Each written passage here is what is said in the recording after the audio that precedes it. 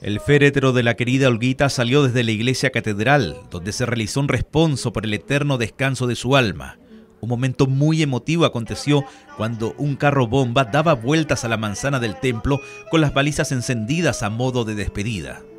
Seguidamente el cortejo salió del templo para dirigirse hasta el cementerio Parque del Sendero, donde se vivieron momentos de profunda emoción. Sus familiares y amigos recordaron a Olguita con mucho cariño. Muy lindo recuerdo de mi madre, muy lindo, una bella persona, muy buena madre. Siempre fue dedicada a sus hijas, a sus nietas, sus bisnietas.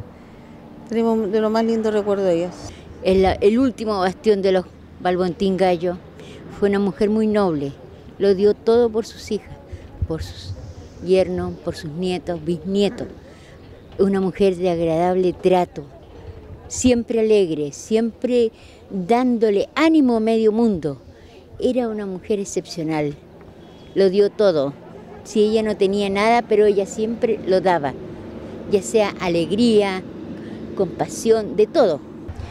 La verdad que llevo un recuerdo muy hermoso de ella, porque yo cuando recién me casé llegué a la calle Seger y yo fui su vecina. Recién estaba embarazada de mi primera hija y mis hijas fueron como sus nietas y sus hijas fueron con mis hermanas. Por esa razón yo le tengo un cariño muy especial porque yo le decía Macina, en recuerdo que era mi mamá y mi vecina. Bueno, yo dije que nosotros los vinietos habíamos conocido la mejor parte de mi abuelita, cuando estaba en la época donde le gustaba malcriar a la gente nomás.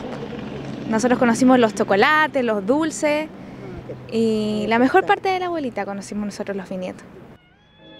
A la despedida de Olga Balmontín llegaron sus cuatro hijas, María, Rudy, Patricia y Silvania Navarro Balmontín, sus siete nietos, nueve bisnietos, además de familiares y amistades que dejó la simpática y querida señora Olga, quien se fue a su última morada al son del tango que a ella tanto le gustaba. la